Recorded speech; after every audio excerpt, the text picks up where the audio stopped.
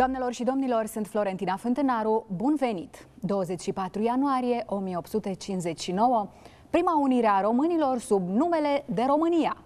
Patriotismul înseamnă și să cunoaștem și să onorăm fiecare moment important din istoria țării.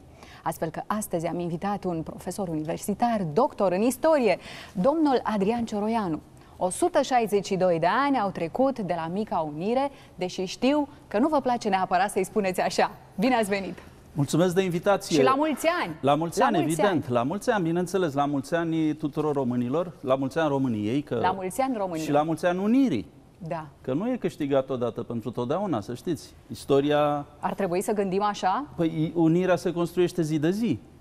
Ca orice în țara asta. Și democrația și unirea și țara ca atare le construim zi de zi. Să nu credem că ni le-au lăsat uh, uh, strămoșii și Definitive. bunicii. Definitiv. Nu, ele trebuie construite și date mai departe. Nu că nu-mi place să-i spunem mică, nu Așa. cred că merită să-i spunem mică. Nu merită mai Nu degrabă. merită, evident. Una la mână că în istorie nu putem face clasamente, nu e o cămașă Da. cu mâneca lungă sau cu mâneca scurtă. Istoria are aceste evenimente, fiecare cu importanța lui. Gândiți-vă, fără unirea lui Cuza, istoria ulterioară n-ar mai fi cunoscut unirea din 1918 sau...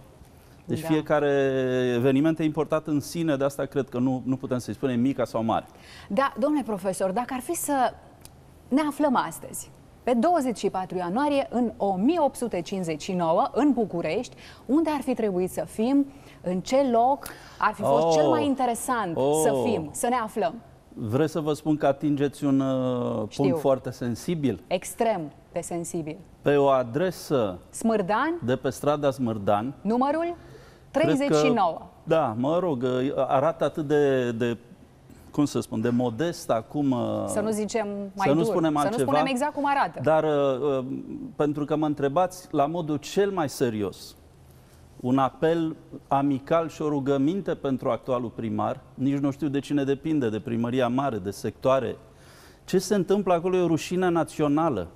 Fostul Hotel Concordia, în care în noaptea de 23 spre 24, elita uh, de atunci au decis să le aleagă pe cel care fusese ales în uh, Moldova, la Iași. Ce înseamnă asta elita? Mai exact, cine s-a aflat în acea noapte acolo, la hotel Concordia, aici- pe Smurdan 39 București? Da, povestea e puțin mai lungă pentru că să admitem că unirea a fost și un, uh, un eveniment național într-un context internațional. Da. Deci are locul ceea ce se cheamă războiul Crimei, un război, uh, Un context favorabil un pentru context România. favorabil pentru că fusese Rusia înfrântă. Da. Și francezii și englezii, în speță uh, Franța împăratului Napoleon al III-lea atunci, care de altfel a fost și modelul lui Cuza, poate revenim la Au acest fost lucru. prieteni? N-au fost prieteni, că, Cumva? mă rog, ar fi fost frumos să fie prieteni, dar nu cred că s-au întâlnit vreodată, dar l-a admirat. Da, A- au avut o corespondență. Au avut, bineînțeles nu? că aveau legături, Se păstrează sigur. această corespondență, Trebuie, domnule trebuie să profesor? vă spun că în acel moment România și Franța nu aveau legături diplomatice încă. Legăturile diplomatice dintre România și Occident sunt fix de acum 140 de ani, 1880. Am înțeles. Deci în timpul regelui Carol I. În timpul lui Cuza, România nu era Nu stat exista. independent. Da. Revenim. Vă rog. Uh, Napoleon al III-lea, în schimb, a favorizat trei popoare pe care le vedea cu ochi uh, buni. Italienii, polonezii și românii. Și Napoleon al III-lea a fost pentru unire și a convins-o și pe regina Angliei. Uh, Din diverse motive, inițial și rușii au fost de acord. Împotriva unirii în ceea ce ne privește erau turcii și austriecii. Austriecii dintr-un motiv pe care îl puteți bănui că o unire mai mare ar fi devenit tentantă pentru românii din uh, Transilvania, Cum de altfel s-a și întâmplat cum de altfel ulterior. avea să se întâmple, deși atunci eram în Imperiul Habsburgii, Da. nu încă austro-ungar. Asta vine peste câțiva ani. Iar turcii, din motivul că până una alta, țările române și Moldova erau terenul lor de confruntare cu Rusia. Imperiul Otoman era în defensivă, Rusia era în ofensivă. Și rușii au ocupat în 1853, ca să ne lămurim, au ocupat Moldova și țara românească, Imperiul Țarist. Ăsta a fost unul dintre argumentele pentru care s-a ajuns la războiul Crimei. Rusia a pierdut războiul și Congresul de Pace de la Paris a luat decizia, hai să vedem ce facem cu aceste principate dunărene. Așa. Cum e mai bine pentru ei, cum e mai bine pentru ordinea europeană. Uh, or, uh, în ordinea europeană, francezii, englezii se gândeau să-i țină pe ruși puțin departe de Dunăre. În acel moment al lui Cuza, când vine Cuza la conducerea României, România avea și malul stâng și malul drept al Dunării la vărsarea în Marea Neagră, pentru că ne fusese date cele, cele două, da, mă rog, județele da. din sudul uh, Basarabiei actuale. Și ideea era ca Rusia să nu fie o uh, țară uh, riverană. Ori asta a dus până la urmă la organizarea a ceea ce se cheamă adunările ad hoc, prin care s-a creat un fel de clasă reprezentativă care erau orășeni, erau comercianți, erau, bineînțeles, din vechea structură aristocratică. Se știe câți exact uh, s-au aflat în acea noapte în uh, hotel? În Ca să fiu Concordia. sincer, nu, nu știu eu, se poate să se, poate să se știe, Cam evident. câți au fost? Uh, da. Acum să vă spun un lucru. Uh, nu a contat foarte mult câți au fost în interior, ci câți au fost afară.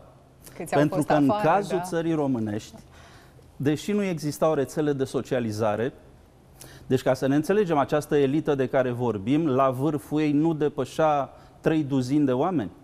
Adică erau câteva Restrânsă, familii, da, erau câte... noi nu aveam partide politice, partidele politice vor apărea de asemenea în timpul lui Carol I.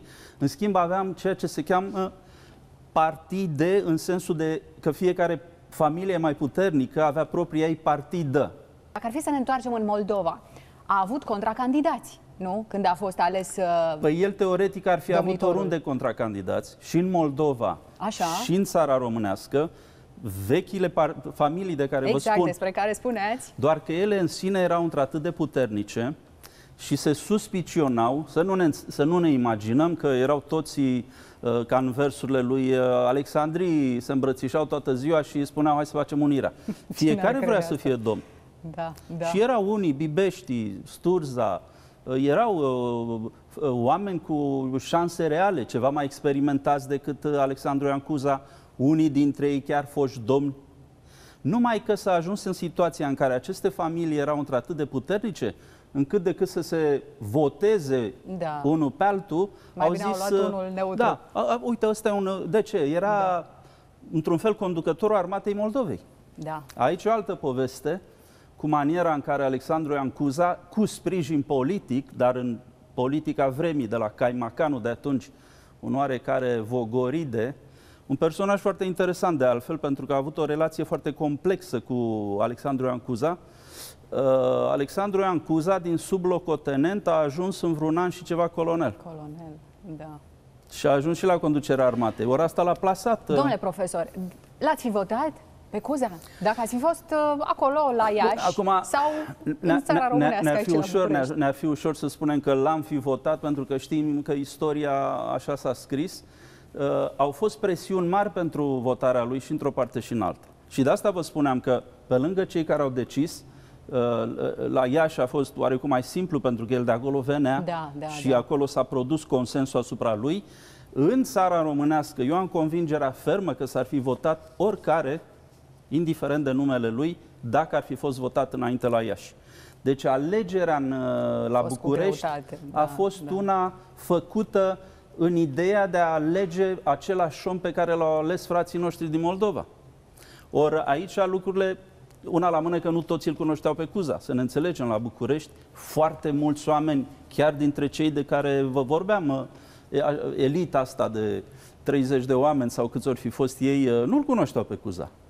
Da. Ori în aceste condiții l-am fi ales, poate l-am fi ales dacă știam că e alesul moldovenilor, l-alegeam și noi. Dar asta nu înseamnă că pentru a forța puțin nota, unii dintre cei mai fervenți unioniști, pentru că nu toți românii doreau unirea, foarte cinstit trebuie să recunoaștem că o da. societate e mereu complexă. Unii români n-au dorit unirea. Unii au dorit-o destrămarea și după, după ce a abdicat, după ce a abdicat forțat Cuza. Din diverse motive și putem să le analizăm, dar nu e locul acum. Da. Dar cei care doreau unirea au mobilizat masele într-o manieră exemplară. Erau mii de oameni adunați pe străzile astea, care acum înseamnă centrul vechi al Bucureștiului, unde mergem noi să ne bucurăm uh, uh la o petrecere sau la, după un meci de fotbal. Erau uh, sute de oameni, mii de oameni veniți din diverse locuri din București, de la țărani de ăștia mai fruntași, așa să zicem, până la mahalagii, dar care mahalagii erau și tot niște orășeni, sau până la cei de pe, uh, de pe lângă Palatul Regal, care, apropo, Palatul Regal, ca să înțeleagă toată lumea unde a fost arestat până la urmă Alexandru Ancuza, Palatul Regal este să-și imagineze lumea din București, aripa din stânga a Palatului Regal de azi, cea de lângă statuia lui uh, Corneliu Coposu. Am Sau, înțeles. dacă vreți, cea de lângă Biserica Crețulescu. Acea aripă este fostul palat regal, care a fost regal, Palatul Domnesc. Dar atenție, a fost și al lui Cuza, după, după plecarea lui vine Carol I, tot acolo. Da. Și de, a devenit ulterior palat uh, regal. Domnule profesor, dar um, a fost important și Cotrocenul pentru Cuza. Voiam să vă întreb, înainte da, de toate. Deși Cuza nu are înscăunat? amintiri plăcute. Nu are. Unde la a fost înscăunat? La, la mitropolie. A avut o coroană? Nu, n-a avut o coroană. N-a, n-a avut o coroană. Repet, România nu era stat independent. În 1860, deci hai să zicem în al doilea an după unire, unirea, noi folosim anul 1859. Da. Dar în egală măsură, nu știu, am putea folosi anul 1861-1862, când avem primul guvern uh, comun. Dar, mă rog, hai să zicem că voința uh, elitei și a, a românilor de atunci s-a produs în 1859. El nu avea cum să aibă coroană exact. pentru că nu era rege. Domnitor era cu voia totuși a sultanului. El se duce Sunt telespectatori duce, care nu știu lucrurile acestea. Se duce nu în 1860 la Constantinopole și, uh, într-un fel, uh, îi propune sultanului să admită ideea unirii. Și da. cu greu turcii s-au lăsat convinși și au spus, bine, ok, unirea, dar numai pe timpul vieții tale. Repet, România numai nu era pe timpul stat... vieții da. tale, da. teribil. Da, da, România nu era stat independent. Da. Pentru asta trebuie să mai să mai lupte o altă generație în 1877. Să dea susținere vremurilor. Dar din uh, reprezentarea domnitorului îi vedem uh, tunica de colonel, îi vedem ordinele, nu? Decorațiile da. de pe piept. Este fotografia clasică da. uh, pe care o cunoaștem cu toții. Uh, sabia. Știu da. că la Muzeul Cotroceni putem să vedem sabia lui de paradă, da. nu primită de către, din partea, mai exact, din partea um, unui uh, prinț... Uh, A, de, vă referiți la...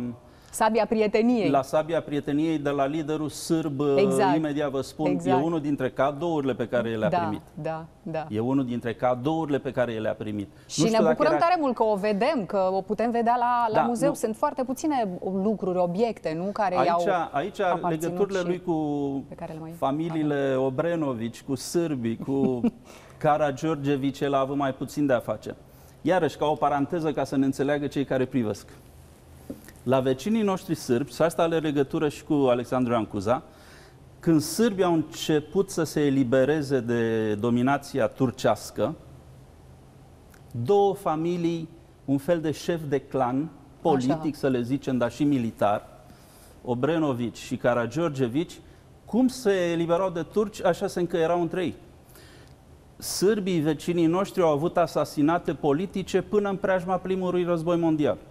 Și ca să fim sinceri, și declanșarea primului război mondial și atentatul de la Sarajevo are oarecum legătură cu un uh, asasinat la curtea domnească a Serbiei. Această Maria Obrenovici, cu care Alexandru Iancuza a avut o lungă relație, a avut doi copii, Uh, copii pe care i-a crescut cu știrea și cu voia soției sale legitime, da. Elena. Chiar Elena i-a crescut. Elena i-a doamna, crescut, Elena, Elena Rosetti, după numele de familie. Probabil n-a putut să aibă copii, uh, prin asta l-a înțeles pe Alexandru Iancuza. Acea Maria Obrenovici, să ne înțelegem, multă lume își imaginează că ea era sârboică, ea nu era sârboică, era moldoveancă, da. dar se căsătorise. Căsătorită. Da. da și Obrenovici cu Miloș Obrenovici și avea să fie mama unui viitor domnitor al uh, Serbiei, uh, Milan. care, mă rog, o generație după, după Alexandru Ancuza. Revenim la, la hainele lui. Ca orice da. militar, da. în pozele epocii și dacă vă uitați la conducătorii din Europa, încă o dată vă spun că modelul lui era Napoleon al III-lea, Napoleon al III-lea care nu mai avea hlamida lui Napoleon I. Napoleon al III-lea era mai curând pe acest tipic militar, ideea de armată, de conducere armată, asta impunea respect, dădea măcar sentimentul că ai pe unii în spatele tău pe care tu îi comanzi. El a fost într-adevăr în armată, așa cum v-a spus, a ajuns un fel de conducător al armatei Principatului Moldovei cu gradul de colonel. N-a participat propriu-zis în campanii militare, dar ce e curios e că această înaintare în grada lui are într-un fel legătură cu participarea lui anterioară la Revoluția de la 1848. Să spunem că Alexandru Ancuza este parte din această revoluție pașoptistă. Când a fost și arestat a fost arestat, urma să fie trimis în Turcia, a scăpat cu concursul englezilor, dar se pare și cu știrea turcilor, că nu vreau să-și bată capul cu el. Și a pledat pentru eliberarea lui însă și viitoarea lui soție. Da, da. Așa e, am aflat. E adevărat, da, e adevărat, dar sunt și multe romanțării. Sunt, da, da. Încă da. o dată, societatea e mereu mai complexă, relațiile umane sunt mai complexe, Vogoride, de care a falsificat alegerile astea din, din Moldova, el cel care îl, într-un fel îl, îl protejează pe Cuza, paradoxal. Da. Ei n-au avut mereu relații rele, dar nici mereu relații bune. Dar într-un fel sau altul acest Vogoride a vrut să-și ia de partea lui, hai să intri în armată, să faci o carieră militară. Cuza, un băiat foarte prezentabil de altfel și fără îndoială inteligent, nu era os domnesc.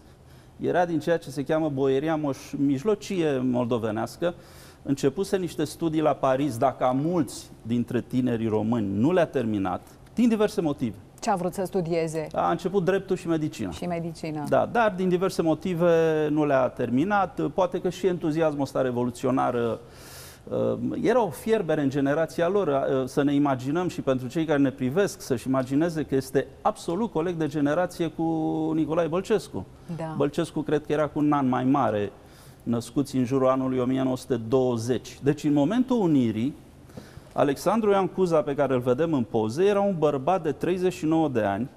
Astăzi, la 39 de ani, încă mai par tânăr, așa. Noi când vedem un da. ministru la 30 de ani, Zice, ne întrebăm ce caută exact, în politică. E prea tânăr. În Revoluția de la 48, imaginați-vă că da. Nicolae da. Bălcescu nu avea 30 de ani. Nicolae Bălcescu avea, cred că, 28-29 de ani la Revoluția de la 1848 și pentru noi un simbol al acelei revoluții. Cam de aceeași vârstă era și Cuza. Deci el avea 39 de ani la unire, născut în 1820. 39 de ani, în momentul în care familiile acestea din Moldova se hotărăsc asupra lui, și cei de la București, domne, votăm pe cine votează Iașu, pentru că asta era miza. O să vă întreb uh, cum, cât de sensibil a fost uh, să aleagă între Iași și București ca și capitală, că a fost un subiect sensibil și a ăsta, fost, da. dar aș vrea să ne uităm la câteva secvențe dintr-un film românesc apărut în 1979, este vorba de Rug și Flacără, un film în care îl vedem în rolul uh, domnitorului Alexandru Ioan Cuza, legendarul... pe legendarul Florin Piersic. Florin Piersic ne da. uităm și ne întoarcem.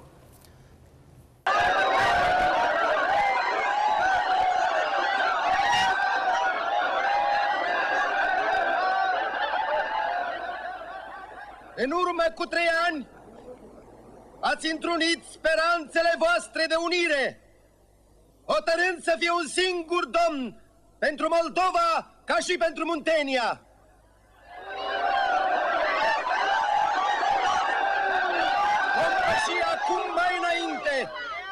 Spre împlinirea datoriilor noastre.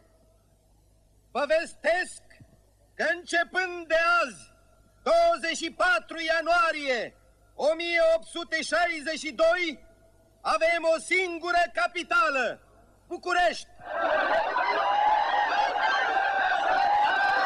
Un singur parlament care îi va întruni aici și pe moldoveni și pe munteni. Un singur guvern primul guvern unitar al țării pe care îl va conduce numele meu și al vostru, Marele Vornic Barbu Catargiu.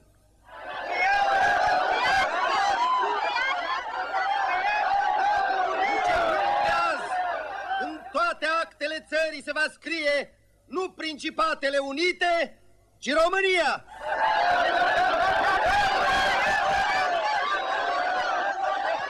Doresc să se știe bine că eu, Alexandru Ioan I, domn al României, fie în capul țării, fie în rând cu dumneavoastră, voi fi întotdeauna cu țara și pentru țară, fără alt cel decât interesele sacre ale României. Mâna cu mâna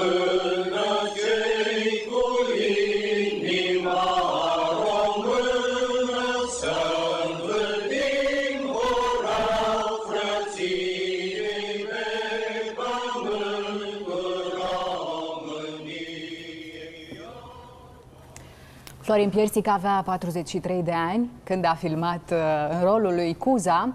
A luat uh, Aproape, un premiu da. de interpretare, premiul Asociației Cineaștilor Români și ne-a plăcut tuturor, încă ne place. Păi, Florin Piersic e o valoare națională. Un simbol, precum... uh, Sigur, e un simbol, da. Deci putea să joace de la, Da. de la Alexandru Ioan Cuza până la oricine. Florin Piersic dă valoare prin el însuși. Nu, filmul, evident, ca orice film, e o romanțare. Da, după un roman, Vă e spun adevărat cu regret că regia Adrian Petringeanu. Palatul Domnesc n-arăta la fel de bine cum ați văzut în imagini. Nici nu-mi dau seama unde e filmat. Pare a fi actualul Minister al Agriculturii, dar nu, nu sunt foarte convins unde e filmat. nu mai contează. uh, mulțumim colegilor de la Cinemaraton pentru secvențe. Da. Vom mai avea și alte Chiar aș fi secvențe curios din, unde s-a uh, filmat. Rug și Flacă. Palatul Domnesc era destul de modest. Pe calea victoriei Da. de astăzi, cum v-am zis, era fosta casă a unui Golescu, dar n-arăta strălucit. Când a venit Carol I în țară, a avut un șoc. Vorbesc foarte serios, Da. adică el a spus-o.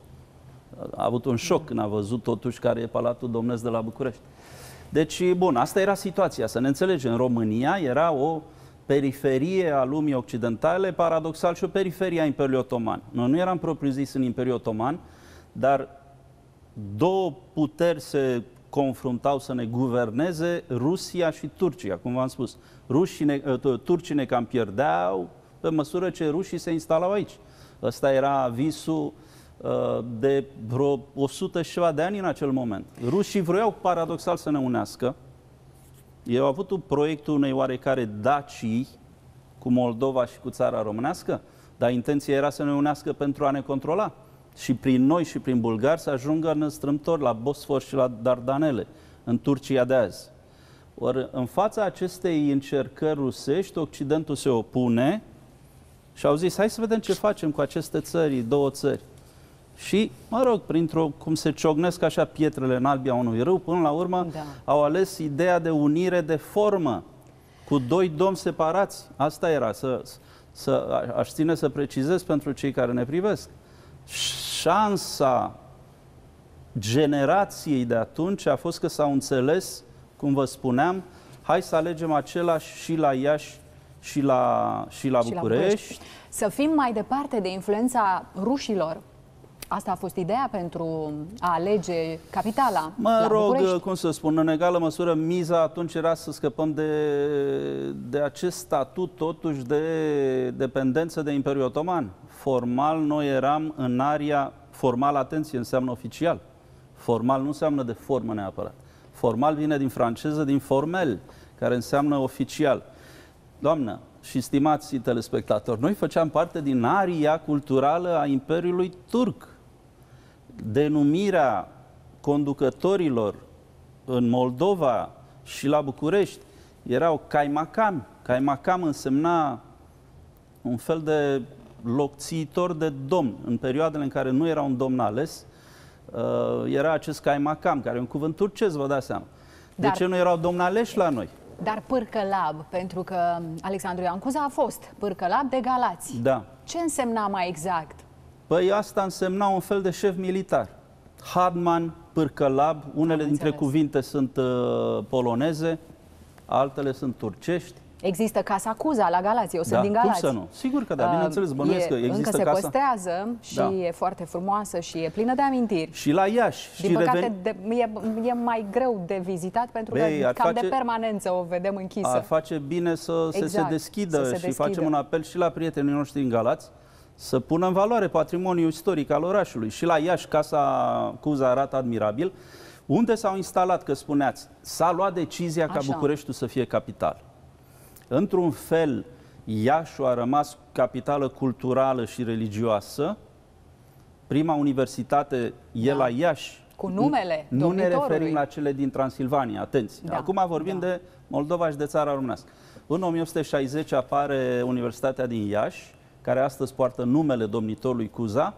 În 1864 la București, Universitatea din București. Deci Iași, într-un fel, a cedat din importanța lui Bucureștiului. Uh, Cuza a venit și s-a instalat aici, cum v-am spus, pe calea Victoriei, în casa lui Golescu, Palatul Domnesc. Uh, și se ducea, evident, mergea și la Iași din când în când. Să ne imaginăm că în cel mai bun caz, atunci cu o trăsură bună făceai vreo două zile, dacă nu mai mult. Adică opreai în mod obligatoriu undeva seara.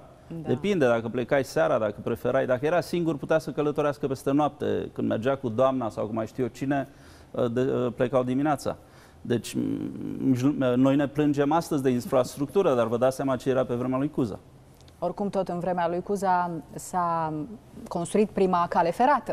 Da, mă rog, uh, Mare București, lucru. da, București Giurgiu sau Exact. care o fi fost, Da. dar cred că Da. până la noi nu putem vorbi de cale ferată până după, adică până în vremea lui Carol I, când încep proiectele adevărate și cu inginerii adevărați, și Adevărați. plătite bine și cu scandalurile de rigoare.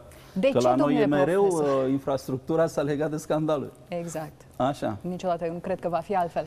De ce a rămas antologic uh, discursul lui Cogălnicianu când a fost înscăunat uh, Cuza?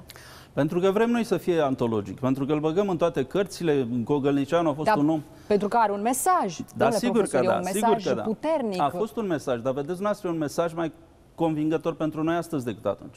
Da. Să ne înțelegem, uh, am văzut în imaginile acestea bine alese, în 1862 vine primul guvern comun condus de acest Barbu Catargiu, dar care trăiește, cred că vreo șase luni și când spun trăiește la modul propriu, Propriu. pentru că avea să fie asasinat. da. Uh, Barbu Catargiu, nici astăzi nu se știe cine și de ce l-a omorât în dealul Patriarhiei din București pe primul prim-ministru al României. E o problemă. Primul nostru prim-ministru de după unire a fost asasinat în condiții absolut misterioase. A venit un oarecare Crețulescu, a venit Gogălnician. Gogălnicianu educat la Paris, educat prin Germania, un om uh, cum- în Germania, încă el era de preponderent de cultură germană. Uh, un om de o, de o cultură și de o elocvență admirabile, dar nu a convins Parlamentul de atunci. Și Crețulescu și Cogălnicianu au fost destituiți de Parlament, s-au opus scuza.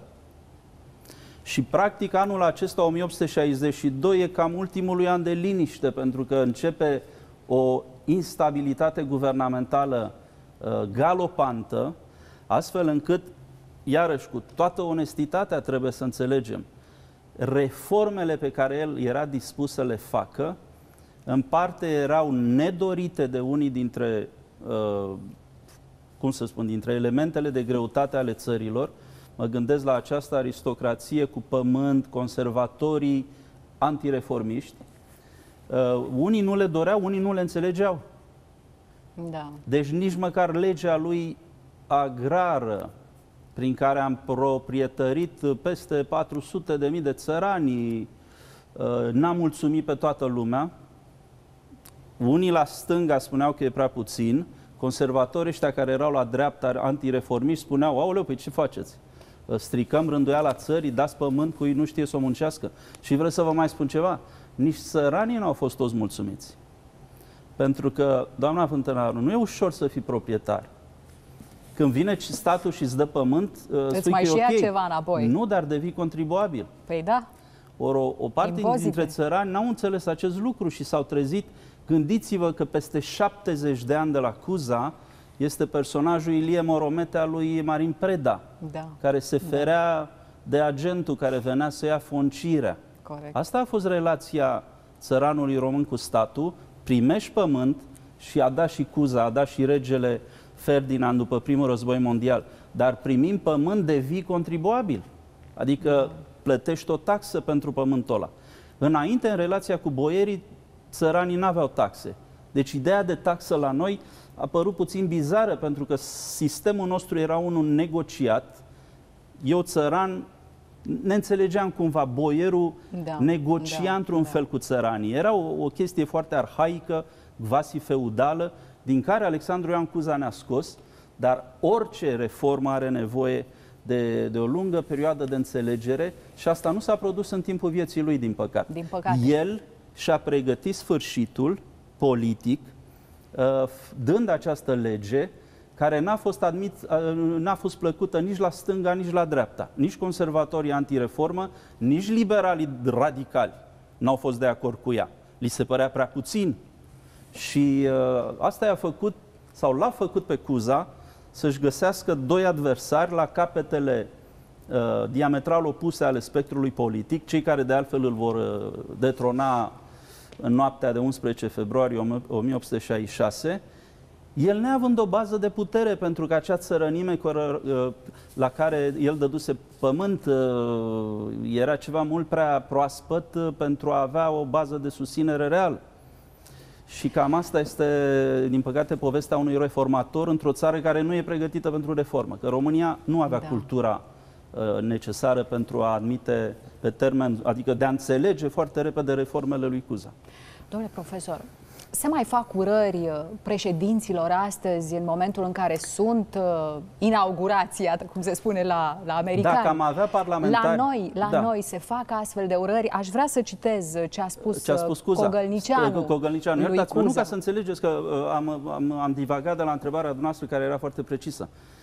Doamnă, nivelul de cultură în Parlamentul României de atunci era uh, unul uh, aș spune, excepțional în, în, în, în comparație cu alte epoci. Pe Alexandru Ioan Cuza era un orator. Ce spune acolo ne place, nouă astăzi citind în manuale. Repet, nu i-a convins neapărat pe adversarii lui politici, drept care l-au și trântit. Uh, guvernul a căzut. Dar uh, ce contează e că vorbeau atât de bine pentru că erau educați bine. Erau educați, da.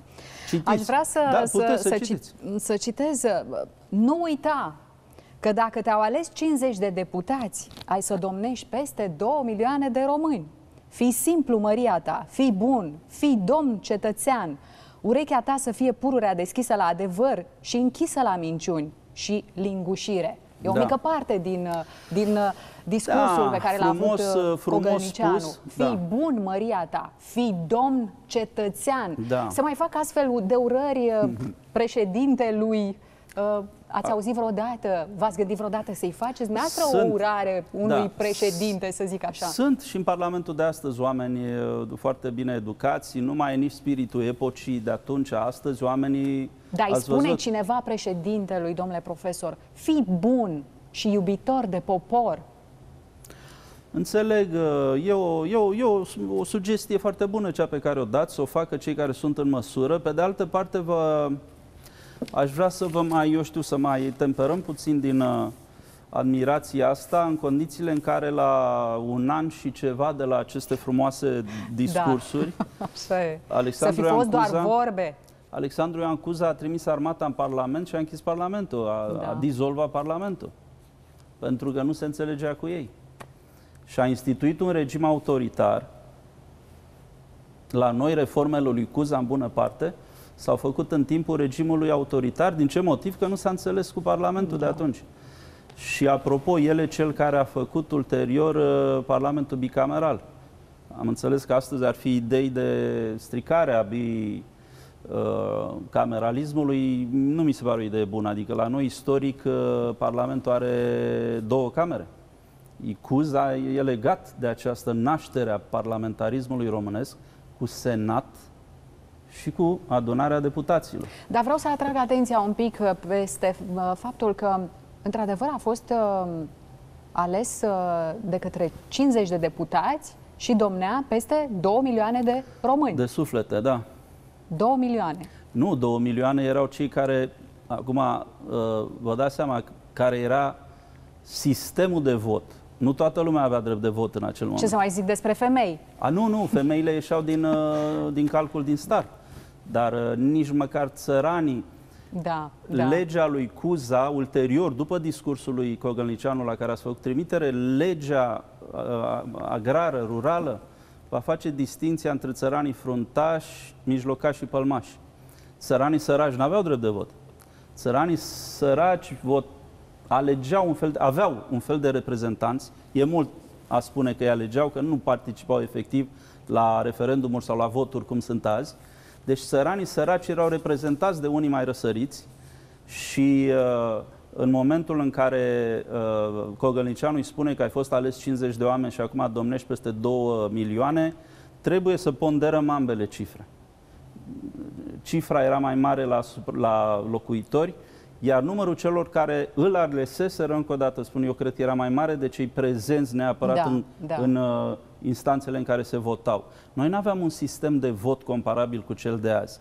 Votul la noi era într-o situație absolut incipientă. Da. Când Franța și Anglia, Congresul de la Paris, au decis pentru noi să facem adunări ad hoc, era un fel de adunări, un fel de referendumuri, dacă vreți, în Moldova și țara românească. Primul s-a făcut atât de atât de prost organizat a fost încât a fost o bagatelă să fie falsificat. Numai că tabăra unionistă a făcut scandal, Occidentul a zis, Franța a zis, ha, hai să vedem, să reluăm. Al doilea a ieșit de partea unioniștilor. Deci vă dați seama în ce da. situație da. eram, să, să recunoaștem. Uh, citim uh, aventurile, cum se cheamă, povestea lui Ion Roată, a lui Ion Creangă și ne facem o idee despre exact. cam ce însemna relația dintre țăran da. și boier atunci. Șapte ani de domnie pentru Alexandru Ioan Cuza, da. dar aș vrea, domnule profesor, să ne spuneți câte ceva despre întâlnirea pe care a avut-o Eminescu da. de când era student da. cu domnitorul Cuza. Da. S-a Bun. întâmplat undeva pe lângă Viena. Uh, da, ca să fiu sincer, eu... Ăsta sunt genul de, de, de, de detalii plăcute pentru cei care vor să se apropie de istorie. Exact. Dar în egală măsură atrage din ele consecințe, cum să spun, un fel de, de morală sau faptul că ar fi avut vreo importanță istorică e mult spus. Gândiți-vă că suntem totuși și vorbim de un Eminescu suficient de tânăr, suficient de tânăr ca să Uh, n-avea niciun rol în acel moment. Uh, Eminescu era la începuturile lui exact. în, pe, în perioada în care, uh, cum se cheamă, Alexandru Iancuza plecase era și începuse, își începuse da. exilul. Da.